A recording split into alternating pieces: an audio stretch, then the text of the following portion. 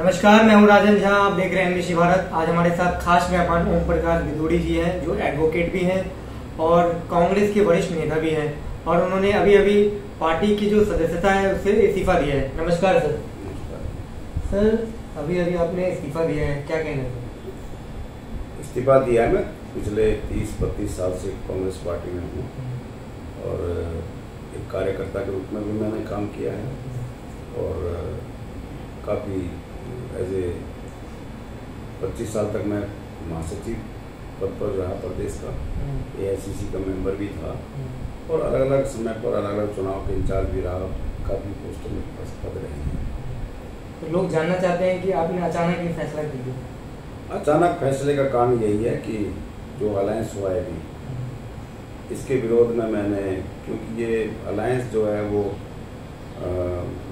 तालमेल वाला अलायंस नहीं है। क्योंकि आम आदमी पार्टी जो है, इन्होंने ही हमको बहुत नुकसान पहुँचाया है।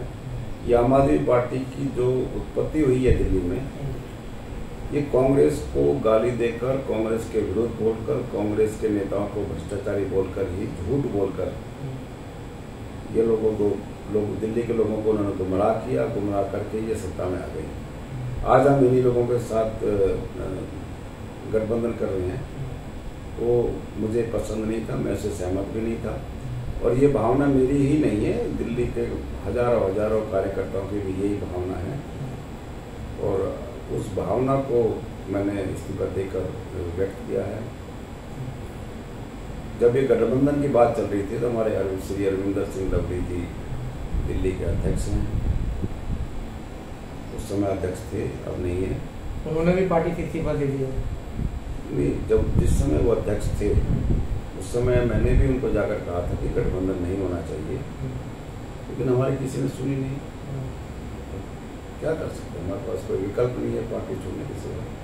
लेकिन कम से कम कांग्रेस पार्टी का जो वर्कर है जहाँ पर कांग्रेस का कैंडिडेट नहीं है वो मुझे लगता है आम आदमी को वोट आम आदमी कैंडिडेट को वोट नहीं देगा। मतलब जो गठबंधन हुआ है सिर्फ़ पेपर में हुआ है? सिर्फ़ पेपर में हुआ है। कोई भी, मेरी बहुत सारे कांग्रेस के कार्यकर्ताओं से बात हो रही है, हुई थी। कोई भी सहमत नहीं है। जहाँ पर भी कांग्रेस का कैंडिडेट नहीं है, उस क्षेत्र में मुझे ऐसा लगता है कि निश्चित रूप से आम आदमी पार्टी कैंडिडेट को वोट नहीं देगा। अच्छा इधर से साई राम पहलवान जी है, गठबंधन के उम्मीदवार है, और एक तरफ़ रामवीर सिंह बिदोड़ी है, जो है बीजेपी की तरफ़ से। क्या लग रहा है सर? क्या माहौल है? बीजेपी जीतेगी। लोग मोदी जी को वोट दे रहे हैं। और जहाँ तक उम्मीदवारी की बात है अगर दोनों उम्मीदवारों को आप तुलना करें तो रामवीर जी बेहतर एक उम्मीदवार अच्छे पुरुष विकास पुरुष उन्होंने अपने क्षेत्र में आप बदरपुर में जाइए बहुत काम किया है। बहुत विकास काम किए और मैं तुगलकाबाद गाँव से हूँ रामवीर गिरी जी तुगलकाबाद गाँव से ही है। इन्होंने 1981 में जब ये एम भी नहीं थे कुछ भी नहीं थे गाँव का स्कूल खुलवाया उससे पहले बहुत कार्य किए इन्होंने। और गाँव के लिए बहुत काम कार्य किया है। बहुत सारे लोगों को इन्होंने बेरोजगार लोगों को रोज़गार भी दिया है। और कुल मिला के एक अच्छे इंसान हैं और विकास करने में माहिर है। लेकिन लोगों का कहना है कि एक वर्तमान सांसद का टिकट काटकर पार्टी किसी दूसरे उम्मीदवार को बनाया गया। क्या नहीं ये तो पार्टी का फैसला बीजेपी का फैसला है। अब किसको टिकट देंगे किसको नहीं देंगे तो उनका फैसला उसमें मैं क्या कह सकता हूँ? माहौल कैसे है? क्योंकि आज केजरीवाल की वाइफ रैली कर रही है यहाँ देवली से क्या लग रहा है? इसका क्या प्रभाव? वो कह रहे हैं कि सहानुभूति वोट हमें मिलेगा। नहीं दिल्ली में कोई सहानुभूति नहीं है। बल्कि लोग आम आदमी का जो वोटर है सपोर्टर वो नाराज़ है जिस हाँ। ढंग से भ्रष्टाचार में इनके कई मंत्री मुख्यमंत्री जेल में पड़ा हुआ है। हाँ। भ्रष्टाचारी को किस बात की सहानुभूति मिलेगी? कभी नहीं मिलनी चाहिए ना मिल रही है। उन्होंने बोला हमने स्कूल पे काम किया है हमने ए, क्या बोलते हैं मोहल्ला क्लिनिक बनाया है। हमने लोग बुज़ुर्ग जो महिला बुज़ुर्ग वो हैं जो उनका सेवाओं के लिए हमने तीर्थ यात्रा पे ले गए हैं। महिलाओं की बस फ्री की है। एक स्कूल तो बता दो कौन सा खोला नया उन्होंने? और मोहल्ला क्लीन हो गया आप खुद ही जाकर देखो क्या हालत हो रही है। देखिए ना जाकर क्या हालत हो रही है। उनमें लॉक खुला नहीं है बंद पड़े हैं गंदगी पड़ी हुई है। कुत्ते बस हैं उसमें। अब जाइए खुद ही जाइए मोहल्ला के लिए उनका स्लोगन अभी चल रहा है कि हम जेल का जेल से हम जेल में केजरीवाल है लेकिन जो सहानुभूति वोट है लोग वोट चोट देंगे वोट पे। कोई सहानुभूति नहीं है। बिल्कुल नहीं है। बल्कि उल्टा है।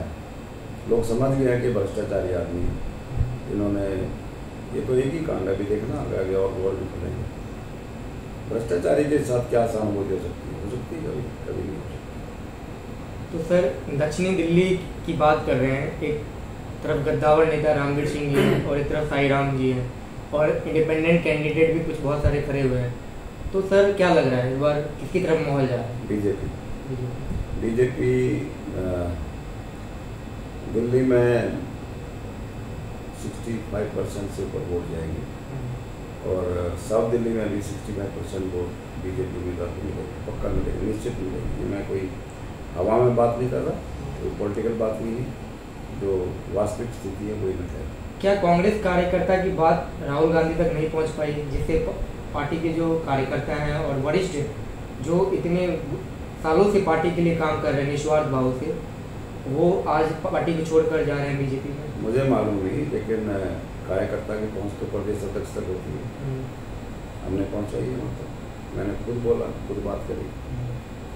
आगे क्या हुआ वो तो प्रदेश अध्यक्ष जाने और प्रदेश अध्यक्ष ने तो इस्तीफा देकर खुद ही कह दिया कि मैं गठबंधन के खिलाफ था अब तो हमारी बात भी साबित हो गई है। तो आप मेरा मेरा सोशल मीडिया खोल कर देखिए फेसबुक देखिए। पुराना। मैं हमेशा इस गठबंधन के विरोध में नहीं बोलता एक तरफ़ राहुल गांधी की गारंटी है और एक तरफ़ मोदी जी का नारा है चार तो पार क्या लग रहा है? मोदी जी चार सौ पार जाएँगे इसमें कोई शंका नहीं है। किसी को भी शंका नहीं होनी चाहिए। और सर दिल्ली की बात करें जो दक्षिण दिल्ली है लास्ट मेरा क्वेश्चन यही रहेगा कि कितने हज़ार वोटों से रामवीर सिंह भदौड़ी यहाँ से लीड करेंगे? Ramvir Singh Bidhuri ji sixty five percent वोटों से ज़्यादा लेंगे। बस।